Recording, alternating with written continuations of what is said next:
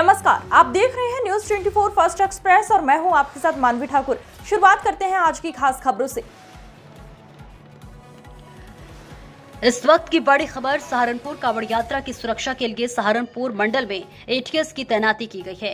मुख्यालय और डीजीपी द्वारा मंडल के सभी जिलों के लिए एटीएस की टीमें मिली है। सभी को रिज़र्व में रखा गया है और कुछ टीमों को सुरक्षा के दृष्टिकोण से तैनात किया गया है। कांवड़ यात्रा इसमें पूरे जोरों शोरों के साथ निकल रही है, जिसमें डाक कावड़ भी शामिल है। कावड़ यात्रा को कोई खतरा किसी भी प्रकार से न हो, इसलिए अब सहारनपुर मंडल में एटीएस की तैनाती की गई है और सबसे महत्वपूर्ण बात यह है कि जहाँ पर भी एटीएस की आवश्यकता होगी, उसको वहाँ पर मूव कर दिया जाएगा। आज ही डीआईजी रेंज अजय कुमार सानी ने मीडिया को जानकारी दी है।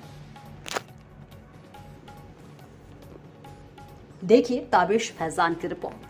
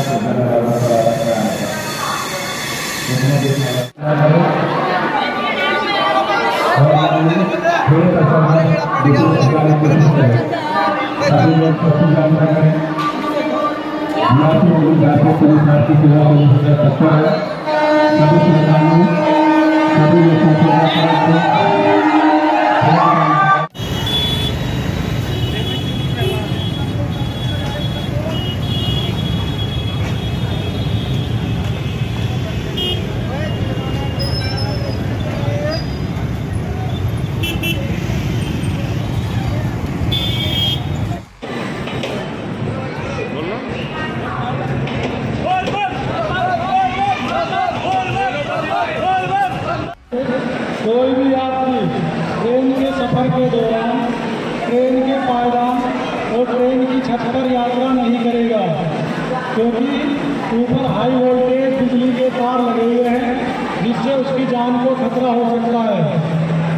और कोई भी यात्री किसी आने जाने वाले अनजान व्यक्ति के साथ कोई भी खाने पीने की चीज़ शेयर नहीं करेगा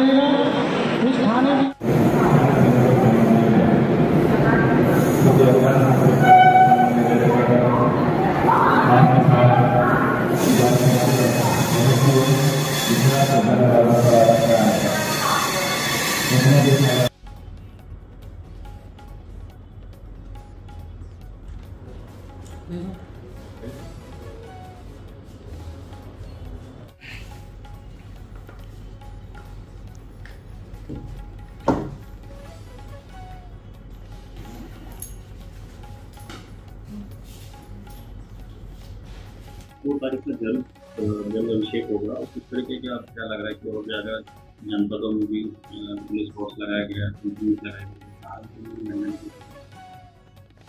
जैसा कि आप जान रहे हैं, कांवड़ मास शुरू हो गया है और दो तारीख को, दो अगस्त को महाशिवरात्रि है। भारी संख्या में श्रद्धालु जन कांवड़ लेने जा रहे हैं। ये नेच जो है, जो दिल्ली और देहरादून को जोड़ता है, मुजफ्फरनगर होते हुए, शामली में इधर सहारनपुर से जो हमारा पूरा का पूरा रूट जाता है कांवड़ का, हरिद्वार और देहरादून में। भारी मात्रा में यहाँ पर भीड़ हो रही है और लोग जा रहे हैं, जल लेने वापस लौट रहे हैं। इसको देखते हुए सारी व्यवस्थाएँ सुनिश्चित की गई हैं और पर्याप्त मात्रा में सेक्टर जोन में बांट कर पुलिस बल लगाया गया है। स्ट्राइक पुलिस फोर्स भी रखा गया है ताकि आवश्यक कोई काम हो तो रिज़र्व पुलिस बल को हम यूज़ कर सकें। इसके अलावा एटीएस की टीम भी मुख्यालय द्वारा और डीजीपी महोदय द्वारा प्रदान की गई है, जिसको हम लोग लगातार रखे हुए हैं, जैसे आवश्यकता उसको यूज़ करेंगे। उत्तराखंड में, हरिद्वार कंट्रोल रूम में अभी हमारे लोग बैठे हुए हैं और वहाँ के लोग, हम लोग लगातार संपर्क में हैं। कितने लोग वहाँ से आ रहे हैं, कितनी गाड़ियाँ निकल रही हैं और सारी तैयारियाँ पूरी हैं। इसके साथ ही ट्रेनों में भी भीड़ हो रही है। तो रेलवे के जो अधिकारी हैं और साथ ही जो रेलवे की पुलिस है, सबके साथ हम लोग की गोष्ठी हुई है। ट्रेनों की छतों पर लोग आवागमन ना करें। अचानक कोई स्टेशन ना, ट्रेन का बदला जाए, जिससे कोई दुर्घटना होने की संभावना हो। तो सभी तैयारियाँ पूरी तरह से हैं और महीनों से इसकी तैयारी हमारे लोगों द्वारा की जा रही किसी प्रकार की कोई समस्या नहीं है। लगातार ये बेहतर तरीके से संपन्न हो रहा है। मैंने आपको बताया कि रिज़र्व टीमें रखी गई हैं और हम लोग उसको जगह जगह पे स्थापित किए हुए हैं जहाँ आवश्यकता होगी इमीडिएट वहाँ पर टीमें पहुंचेंगी और कार्रवाई सुनिश्चित होगी।